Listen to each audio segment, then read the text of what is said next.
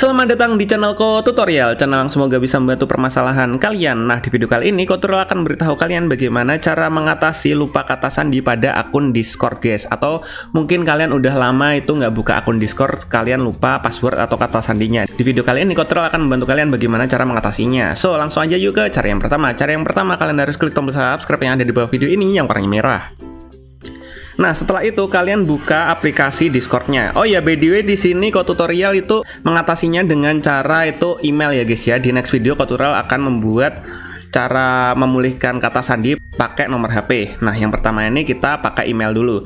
Nah, setelah kalian masuk ke dalam Discord, nanti tampilannya kan akan seperti ini. Welcome to Discord. Kalian pilih di bagian login. Nah, di bagian login ini kalian ketuk. Setelah itu kalian masukkan alamat email yang sudah terhubung dengan Discord kalian yang lupa kata sandi tadi. Nah, di sini Kotural bakalan masukkan dulu emailnya. Nah, setelah kalian masukkan emailnya, kan kita lupa kata sandi. Kalian langsung aja ketuk di bagian bawahnya password ini ada tulisan kecil forget your password yang artinya lupa kata sandi. Kalian kalian langsung aja ketik atau ketuk Nah, nanti akan ada tulisannya seperti ini. We send instruction to change your password Lisatra bla bla bla bla ini, guys. Kita langsung aja pilih oke. Okay. Setelah itu kita buka email kita, guys. Email yang ini, guys. Email yang kita udah masukin di login sini. Nah, langsung aja kita buka emailnya di bagian Gmail seperti ini. Gmail kalian buka.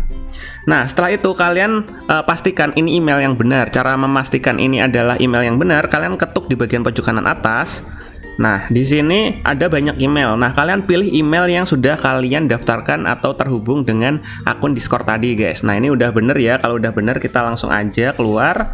Dan kalian bisa lihat di sini ada email dari Discord yang berisikan password reset. Nah, ini kalian ketuk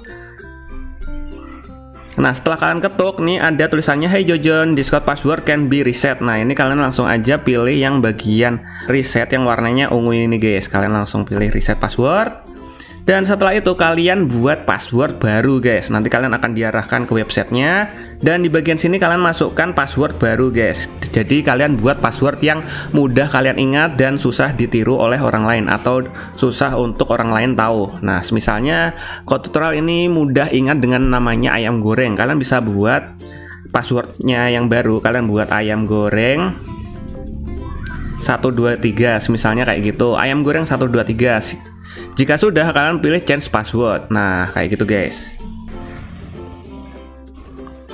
Nah, jika Nah, jika ada tulisannya seperti ini, password change yang artinya password berhasil dirubah, kalian ketuk di bagian continue to Discord.